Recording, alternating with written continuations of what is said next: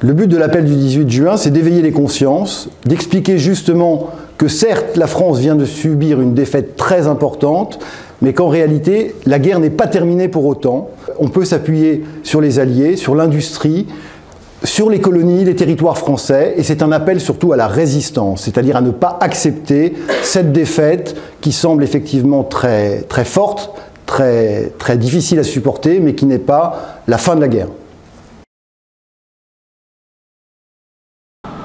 Alors la résistance, qu'est-ce que c'est? Ce sont des gens qui vont s'opposer aux Allemands et qui vont décider de faire quelque chose pour s'opposer aux Allemands. Mais ils s'opposent aussi, pour certains, au régime de Vichy. À l'automne 41, il arrive à Londres et il rencontre le général de Gaulle. Et quand il voit arriver un préfet, il est intéressé, le général de Gaulle. Il l'écoute et donc il va lui confier une mission il va lui dire de retourner en France, de prendre contact avec les mouvements de résistance, d'essayer de les soutenir en leur donnant de l'argent. On euh, va essayer d'organiser des parachutages euh, d'armes, par exemple. Et, euh, et puis, de, si possible, de les fédérer. Le grand rôle de Jean Moulin, c'est d'unifier cette résistance sous la direction de la France libre. Et c'est pas facile parce que ces mouvements qui sont nés spontanément c'est des gens qui sont volontaires et qui prennent des grands risques, des gens qui sont dans les mouvements de résistance. Il hein. ne faut jamais oublier ça.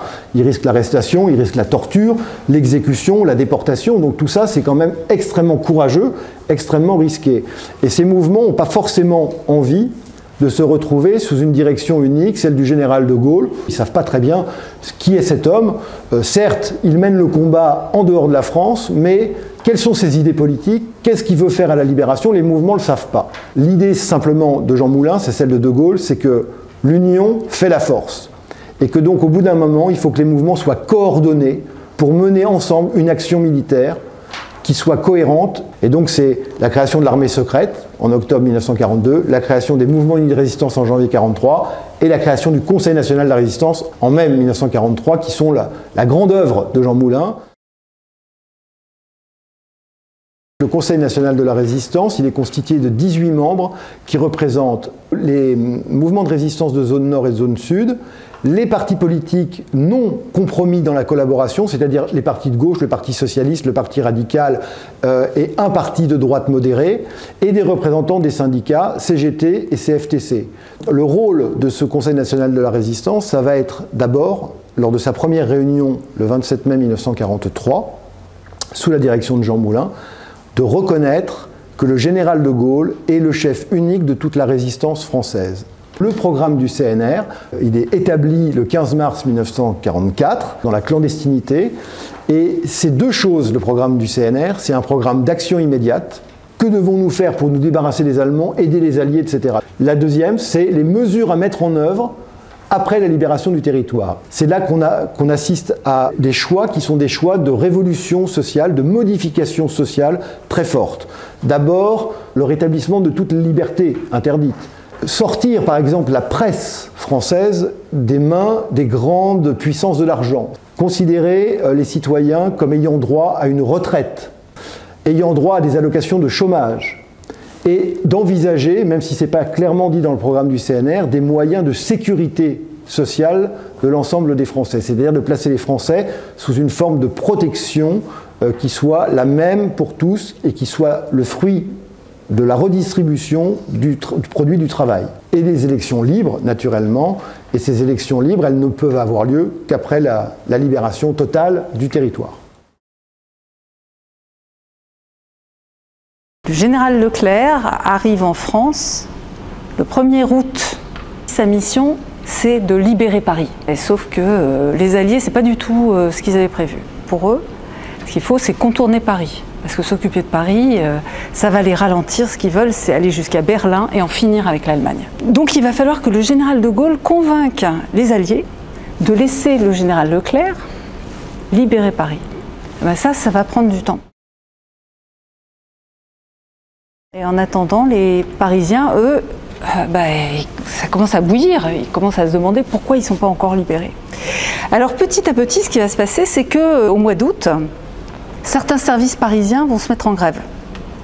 Donc ça va être les infirmiers, ça va être euh, les cheminots en premier, ça va être même les policiers.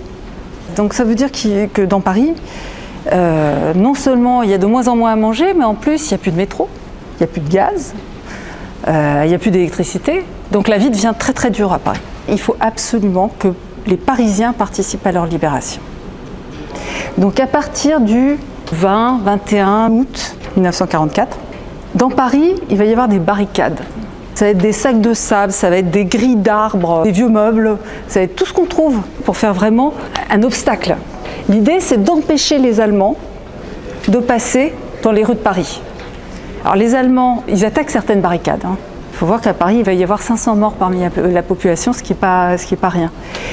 Finalement, Leclerc va avoir l'ordre de marcher sur Paris et il va envoyer une colonne en reconnaissance. Les cloches de toutes les églises parisiennes se mettent à sonner. Le lendemain, le général Leclerc et d'autres éléments de son armée arrivent dans Paris et ils s'attaquent directement aux endroits où les Allemands sont retranchés et au prix de combat, ils arrivent à finalement déloger les Allemands et à faire plein de prisonniers allemands et à libérer en fait la capitale. Et ça s'est passé le 25 août 1944. Le 25 août au soir, le général de Gaulle fait un discours à l'hôtel de ville. L'hôtel de ville, c'est la mairie. Hein. Il fait un grand discours en disant Enfin Paris est libéré. Paris outragé, Paris brisé, Paris martyrisé, mais Paris libéré. Donc il y a un gigantesque défilé. Pourquoi il est important ce défilé? D'abord parce qu'il est énorme. Il y a énormément de monde. Et aussi parce que la personne qui marche devant, le général de Gaulle, c'était quelqu'un dont personne en France ne connaissait le visage.